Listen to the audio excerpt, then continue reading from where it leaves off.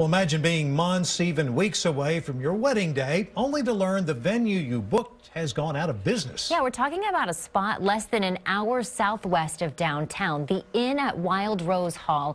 If you look at their listing on the popular wedding website, The Knot, it's filled with five-star reviews. KXAN's Jacqueline Powell explains the tough decision the operator is making, hoping her business will still make a comeback.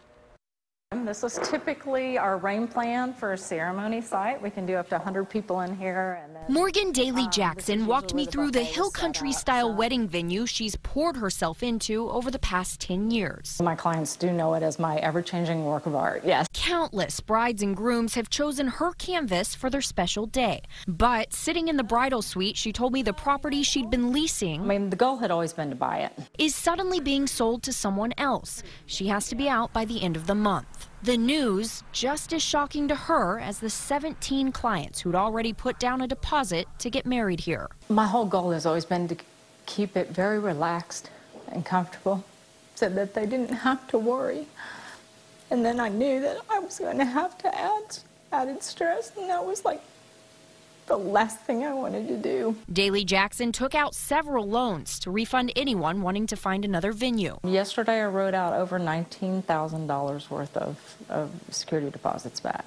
And with many still undecided, there's easily twice that much if everybody were to, to decide to move on. So but I'll do what it takes to pay them back because that's the right thing to do. But for those willing to trust this artist's creativity, luckily I still got a few clients who are staying with me. She's quickly creating a new venue on the 14-acre ranch she owns next door. And what I know in my heart of hearts is this is going to be even better than I ever could create here. Ready for weddings next year. Jacqueline Powell, KXAN News. Daly Jackson says one client who's chosen to stay with her is getting married in February, so she plans to have her new venue up and running in just a couple of months. She's also offering discounts on floral, floral arrangements to couples that stay with her.